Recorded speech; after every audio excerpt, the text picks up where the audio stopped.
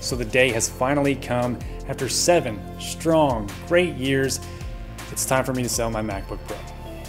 I purchased my 2009 MacBook Pro seven years ago through Apple's refurbished site. Never had a problem with it whatsoever. It works perfectly to this day. I could probably keep it and be fine with it because it still works great, but I do own a Mac Mini that I use almost all the time now because I'm doing a lot of video editing and my MacBook Pro doesn't quite handle 4K video editing very well, but it does work great for almost everything else. So I'm going to sell it, get a little bit of money back so I can purchase the new 2016 MacBook Pro because I think it is time for me to upgrade to it. And I want to give you guys a full review of that when it comes out. And maybe you're doing the same thing. Maybe you're selling your old MacBook Pro or MacBook in order to get the new updated version that's coming out this year. So that's why I did this video. I'm gonna walk you through the steps that you need to take before you sell or give away your MacBook or MacBook Pro. So the very first thing that you want to do is back up your data. You should be backing up your data anyways, right? Now, I did a tutorial on how to use Time Machine to back up your data if you want to check that video out. You can either use Time Machine or just copy and paste your data onto an external drive manually or drag and drop, however you want to do it. The only thing you need, obviously, is the external hard drive. And the one I recommend is the Western Digital. I have the three terabyte version and I've never had a problem with it so far. And it takes a lot to fill this sucker up three terabytes, and they also have a four terabyte option. The link will be in the description below for this external hard drive. So hook that up to your Mac and then copy your data over and make sure you have all your data copied over and then eject it and put it to the side. Now you're almost ready to start the wiping process of your MacBook. But before you do that, you need to do some things. You need to sign out of your iTunes. You also need to deauthorize your iTunes. So open that up and do those two things. You also need to sign out of your iMessages. So open up messages and then go to preferences and sign out of that account. And then also go to your system preferences and sign out of your iCloud account.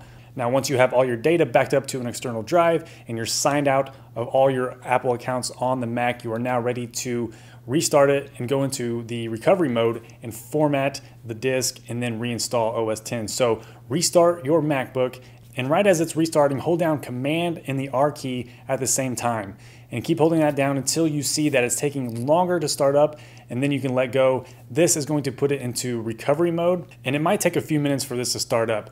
But once it's started up into recovery mode, you should see these options. What you want to do first is go into disk utility and erase your hard drive on your Mac. So find your hard drive in the list in disk utility. You should only have one, most only have one. I have two on mine because I installed a solid state drive. So I have a solid state drive and a regular hard drive in it, but you should just see one. So click on yours and then click the erase tab. And if you want to securely erase it, click the security options and you can securely erase that disk. And when you're ready to erase, just click the erase button. And depending on what security options you selected, it may take uh, a little while for it to erase. But when it's done, you can go ahead and close out of that window and then you can go to reinstall OS 10. Now, before you continue doing this, make sure you are connected to your Wi-Fi network. If you go to the top right, you can connect to it there through your Wi-Fi option. Just click on your Wi-Fi and put in the password and make sure that it's connected before you continue. Once you're connected to the internet, you can go ahead and choose to continue to install OS 10. It'll probably ask you to sign in with your Apple account, so just use your Apple ID and, and password, and it should start the process of reinstalling OS 10 now you can sit back, relax, and let it reinstall OS 10 for you. Uh, the time may vary depending on your internet speed, but it should be done in a couple hours. Now when it's finished installing OS 10, it's going to reboot into the welcome screen.